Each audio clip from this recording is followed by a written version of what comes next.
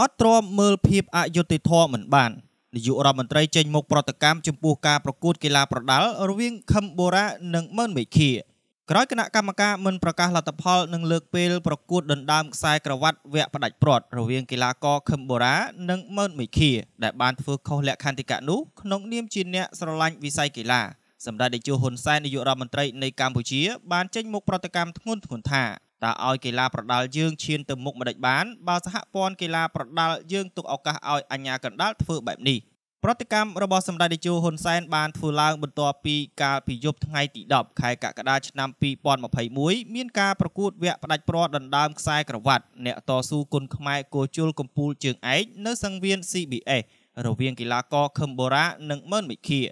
ការប្រកួតដល់ទឹកទី3ស្រាប់តែកីឡាករម៉ឺនមេឃាចាប់បោកកីឡាករខឹមបូរ៉ាឲ្យសន្លប់ស្ដុកស្ដឹងលើសង្វៀនដែលខុសនឹងលក្ខន្តិកៈនៃការប្រកួតភ្លាមភ្លាមនោះគណៈកម្មការនៃការប្រកួត បានសម្រេចលើកពេលប្រកួតទៅ2សប្តាហ៍ក្រោយដោយមិនសម្រេចឲ្យម៉ឺនមេឃាចាញ់ប្រកួតនោះឡើយការមិនប្រកាសលទ្ធផលនេះបានធ្វើឲ្យមហាជនរិះគន់យ៉ាងខ្លាំងតាមរយៈបណ្ដាញសង្គមនានាជាមួយគ្នានោះសម្ដេចតេជោហ៊ុនសែនក៏បានចេញមុខប្រតិកម្មខ្លាំងៗ តាមរយៈបណ្ដាញសង្គម Facebook កាលពីរាត្រីថ្ងៃទី11កក្កដាថាដោយអត់ទ្របមិនបានខ្ញុំសូមចេញមកនិយាយក្នុងនាមជាប្រជាពលរដ្ឋខ្មែរម្នាក់ដែលស្រឡាញ់វិស័យកីឡា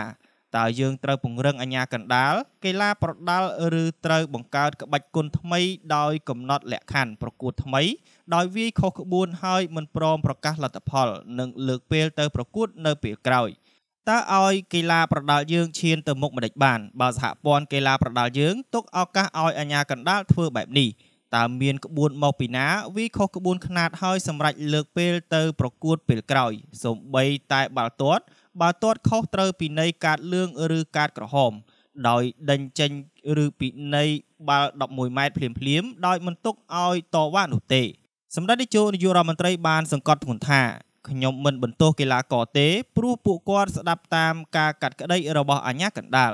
អ្វីដែលខ្ញុំសូមគឺអាជ្ញាកណ្ដាលត្រូវតែមានយុត្តិធម៌ក្នុងខ្លួនក្រោយមានប្រតិកម្មខ្លាំងៗពីសម្ដេចតេជោហ៊ុនសែនភ្លាមភ្លាមនោះសហព័ន្ធកីឡាប្រដាល់គុនខ្មែររួមជាមួយស្ថានីយទូរទស្សន៍ CNC បានសម្រេចឲ្យកីឡាករខឹមបូរ៉ាឈ្នះការប្រកួតតែម្ដងដោយមិនលើកពេលការប្រកួតនោះឡើយ។